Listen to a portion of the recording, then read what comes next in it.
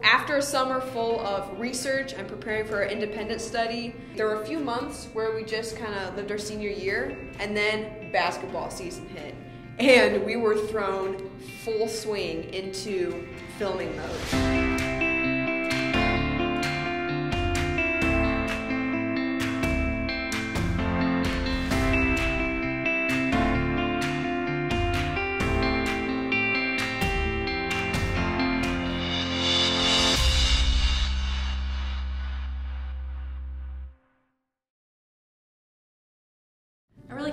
Better way to start off um, basketball season than 5 a.m. tryouts on Halloween. It's fantastic.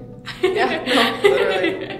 uh, I think we all kind of felt that way. We were very tired, and then obviously Bill and I were eager to get started on this project. We've done all this thinking about it, but no action. So we really just got thrown in the deep end. We were like, oh, we're here now. And then um, I think we kind of took for granted the fact that I was in manager mode. I had responsibilities as a manager, and I was very excited about it. It was very cool, but it was also definitely a struggle to kind of navigate those priorities of do I need to be the documentarian here? Do I need to be, you know, videoing, or do I need to like be a team player here and take care of the team and contribute to the team in that way?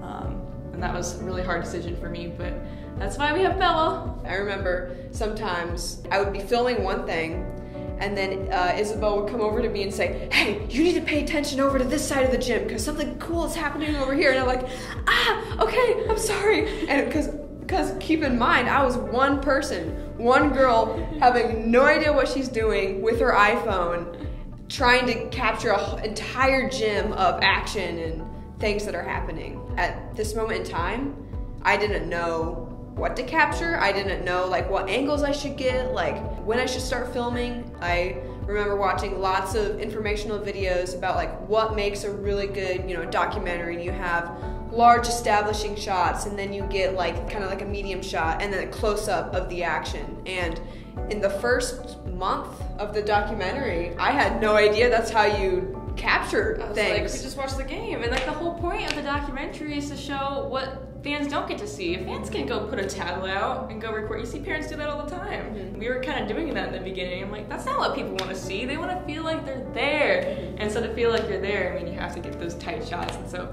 once we figured that out, it was it was game on, pun intended. Um, but it was a good like rough first month of the filming process, most of the footage was unusable. And if you watch back the documentary now, it might sound like we're being harsh on it, but the documentary truly does progress. You can see our what we've learned as videographers from beginning to end. Watch the first scene of that documentary, watch the last scene. It's night and day difference. So along with practices, I would also film games. As Isabelle was doing her manager duties, it was my job to go around and capture, you know, every aspect of the game I could. So at this point in time, I had done a lot more research and I knew kind of um, the strategies to filming a game and what I should capture. And so I developed a system. Okay. So when I would get on location, I would start by going outside the facilities and I would capture large establishing shots of the building and you know some close-ups of some you know like random things I thought looked interesting. After I got those outside shots, I would go into the building and I'd start shooting pre-game stuff, like girls, like in the locker room, like what they're saying to each other, or what the coaches are saying, like before a game.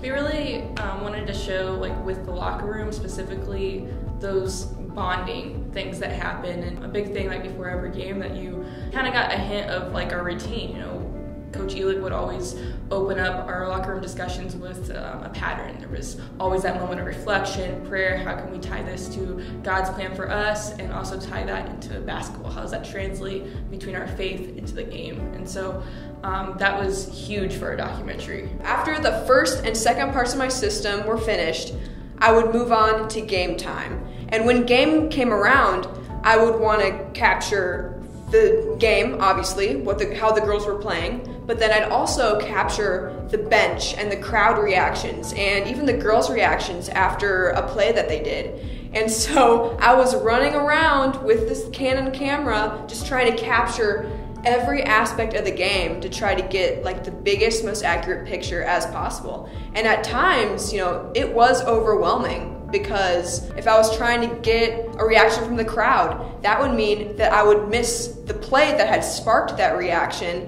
which could have been important for the documentary we were making.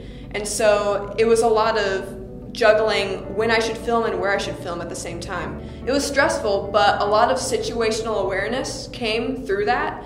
Um, by the end of the season, I figured out that, hey, when it's about time to have a timeout, I, I, need I need to be at the end of the court, ready to run up and film a huddle. And so, you know, that's something that I just grew into as the season progressed. I do remember vividly telling Bella at one point, this isn't a highlight reel. We're making a documentary. And so you do need to show those missed shots. You need to capture us being bad sometimes and losing games by a lot. Like that's part of the season, that's part of the journey, that's part of the, the growth and learning process. And so we wanted to show that and specifically we wanted to show, you know, those huddles.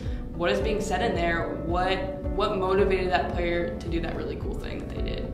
So after all the practices and games, I would go back home and sort through all the footage that I had taken from that night, which would take me two to four hours, maybe sometimes a little bit more.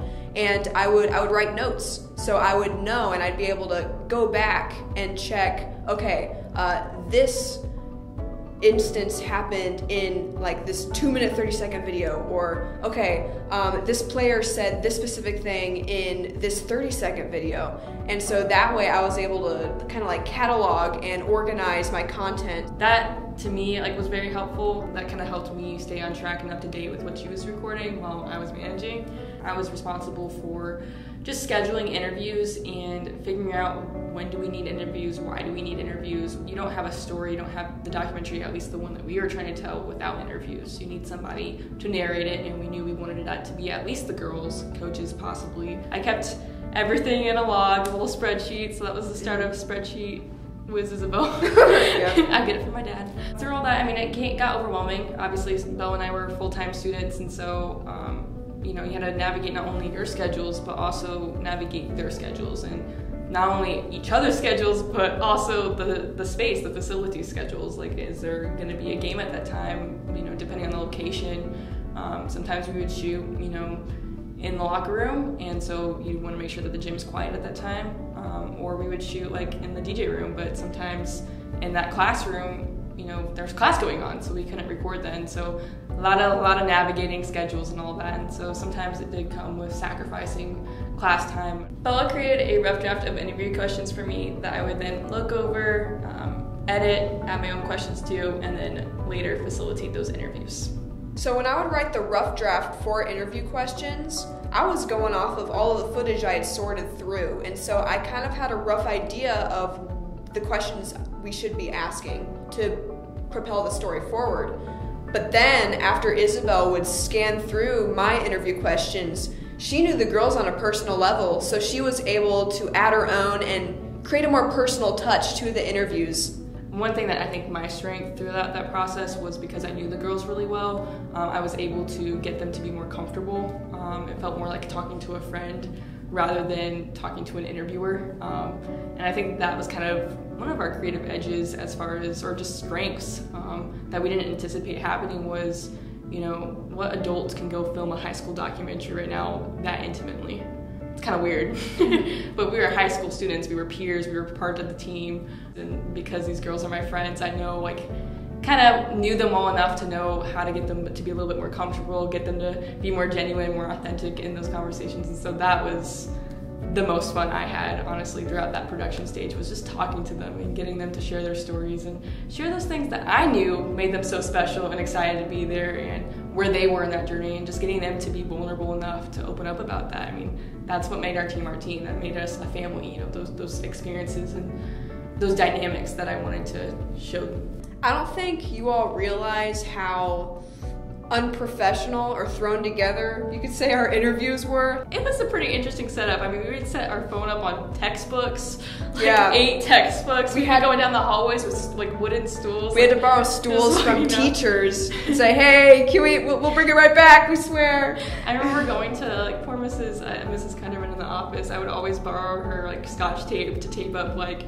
um, signs so people knew not to enter, and not that they would read them anyway, but Yeah. knew not to enter, en- enter the room because there's an interview going on. Because you know, you know, you don't want people walking in in the middle of your interview. Like they don't, they didn't sign up to be on camera one, but you know, that's going to interrupt what the person's saying if it's valuable, especially. It's not easy to, you know, not one not know as much as we did. We didn't know what we were doing. We put a lot of pressure on ourselves because we wanted to be represent this team in an accurate way and not only just make a video, um, but make it good. We want it to be good. Um, we want people to be entertained by it, and we wanted people to enjoy it even if you weren't a part of the team, even if you weren't familiar with who we were or what we're doing. We wanted it to be entertaining for not just basketball fans, and so we had a mission, we had a message that we wanted to tell, and so that was pressure. Um, and we put that on ourselves, and I, I wouldn't change it any other way. I think that really motivated us to do a good job.